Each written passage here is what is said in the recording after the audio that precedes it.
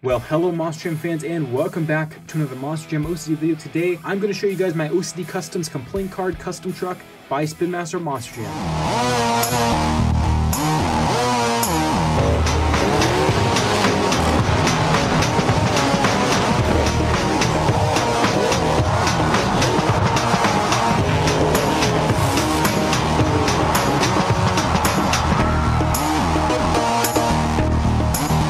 back everyone. Today's my first ever Spin Master Monster Jam custom video. Uh, these are my personal customs, not anyone else's. So this is my first video showing off one of them. Uh, basically, the reason why I have not done I have not been doing many customs is because I've been learning a new process which involves powder coating the trucks instead of painting them, which lets them uh, pretty much be uh, factory grade. So actually even more uh, higher grade than factory. These are pretty um, close to indestructible uh, to an extent. As long as you're playing fairly rough with them, they should not chip, they should not dent, Nothing should happen to the paint, or as in this case, powder coat, but we'll just call it paint. So these are very durable uh, trucks. That's what I'm trying to say here. So uh, anyway, I've been learning that process. It's not an easy process. It's still something I'm still working on. Uh, nothing's completely 100% to my standards, but uh, I'm getting closer every single day with this stuff. It's not easy, like I said, but um, like I said, also I'm getting closer to uh, the quality that I want. So this is my first ever Spin Master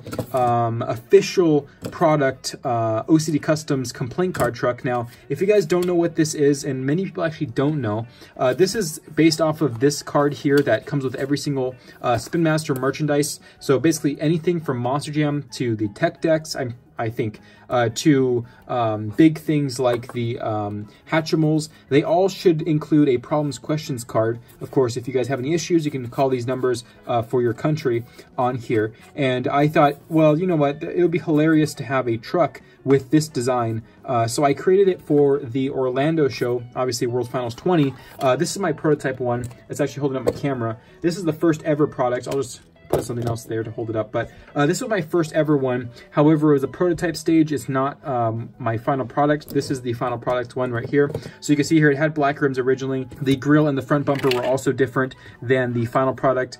And uh, just a couple more tweaks. Also, the paint color is different. You can see here it's darker yellow now. I think it's a little better than the brighter yellow.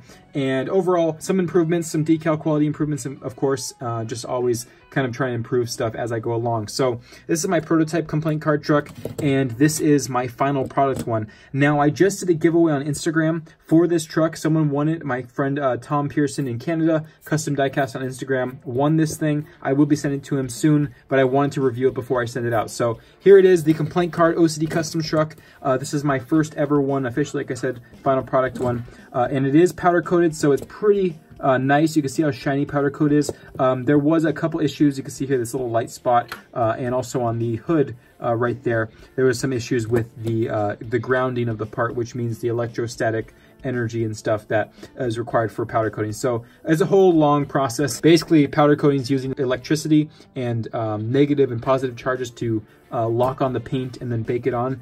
Uh, so if the electricity is messed up in any way, you'll see these little areas um, such as this little spot right here on the part um, right there. So you can see there, that's where some electricity was a little messed up. So anyway, it happens. Uh, like I said, I'm still learning and it's not an easy process, trust me. It looks easy on video, but it's not easy to set it up. So uh, anyway, here's the complaint card. So I, I, have an injury on my finger, so I'm trying to avoid my index finger being in the video, but you can see here, uh, here's the side panel. So I added the problems questions piece right here on the side. I took the North American number and, um, well, I took the North America part and then the number, and I put on this side the right side panel. I took the customercare.com uh, or at uh, spinmaster.com. I put a black stripe along the bottom and I put that uh, on top with the yellow. Uh, the uh, little circle here with the question mark comes from this thing right here. And then the Monster logo, obviously just that's there. Uh, it has a little black bumper on the side of the fender. And then we have the front grille, which is black. We have the Spin Master logo in the middle, which was an idea by Mike Bev. Uh, I did change that in another product, which I'll show you guys in the future. Uh, there's a new emblem I use, but this was my prototype, I guess, for the new grill. I'm not going to use this style anymore, but you can see the Spin Master logo in the front grill. And of course, spinmaster.com right there on the bumper, uh, which was not a feature of my previous uh, prototype one. And then of course the headlights I put in there, same headlights as the Escalade, uh, or the same Escalade style headlights that they've been using for the Ford bodies. I did not use the updated ones yet. And of course, the guy on the, um, the man on the little um, part on the hood here, we have from this portion here. And then on the roof, that's actually the international complaint card. It's hard to see because it's so tiny, but there's an international complaint card that comes with fire and ice vehicles, and that's what that is up there.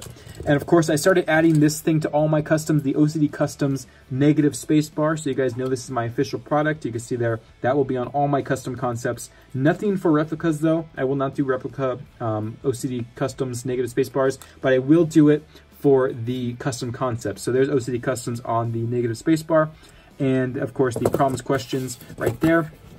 Pretty much this top portion of the card and this bottom portion of the card just translated onto this area.